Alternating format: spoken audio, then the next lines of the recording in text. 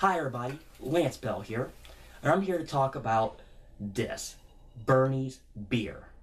Now I don't normally do reviews, but since this item actually made its retail debut this morning, I decided to talk about it. Now, Cellar Rat Brewery in Madison, Ohio had this on tap. Now, according to what they said in um, the Beacon Journal, the name is um, Joe Sondry. He says it's an easy drinking, wonderful brown ale, a little bit malty, finishes hoppy, and finishes dry. Now, I have not had this yet. I just bought it literally an hour ago. So we're going to find out together. Now, let's start with the packaging. Now, I've never seen a packaging like this, and I'll show you a six pack setup like this. Now, I normally do more craft beers. That's usually in a case. So I've never seen this before. Now, on this here, as I take it apart, it actually comes out pretty easy. Now, here's a good look at the can itself. And I apologize moving around. Here's what it looks like here. And it says made with pride in Ohio, which it is. It says it has 5.5% alcohol by volume. Now, I'm looking on the can, and I did this early before I started taping. There's actually a website for Bernie's beer. Just one problem. It doesn't exist yet. So they put it on the can, and I can't actually do some more in-depth research on it.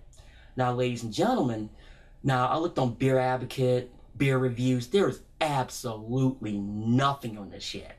So this review is straight out of the chute.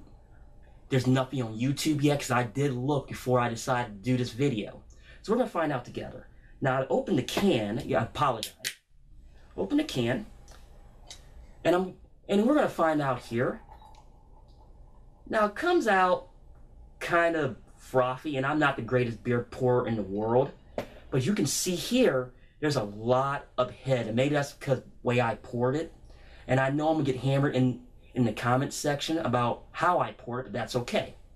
Now I'm looking at this, and I'm trying to de- determine what this looks like, and I'm thinking to myself, okay, it's a little bit darker. I'm thinking more like the Michelob Amber Bock range of lighting. Now, there's a lot of carbonation in here that I can see in the cup itself. Now, I'm going to take a look more in depth, and it's about that smell of Michelob Amber Bock. I do smell the hops in it. Now, maybe there's a way. To, I'm not the greatest beer guy in the world as far as tasting, because I'm more of a craft beer guy than a local beer guy. So that's about what I see in it so far.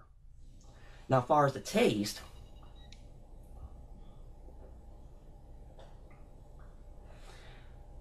this is definitely about the Amber Bock range. What do I mean? There's a lot of hoppiness to it which I like to know what the actual what they put into it, but with no information, I don't know yet. So hopefully something online and hopefully in the comments below you tell me exactly what they do. And there's there's a bite aftertaste, which is good. So hopefully in the coming weeks and months we get more information and hopefully I do a follow-up video. But I thank you for watching. This here is Bernie Beer. And if you have any questions or comments, please leave them in the comment section below.